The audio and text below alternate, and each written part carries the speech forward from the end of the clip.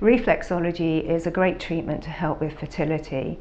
Many women suffer from irregular cycles that are caused by underlying conditions such as endometriosis, poly polycystic ovaries and fibroids and these conditions are exacerbated by stress. Unfortunately stress wreaks havoc with our hormonal systems and reflexology can calm the nervous system thereby calming the hormonal system and bringing about a state of balance to the cycle. This improves the cycle and it allow, allows ladies to find that window of opportunity, that fertile window, which is key to conceiving.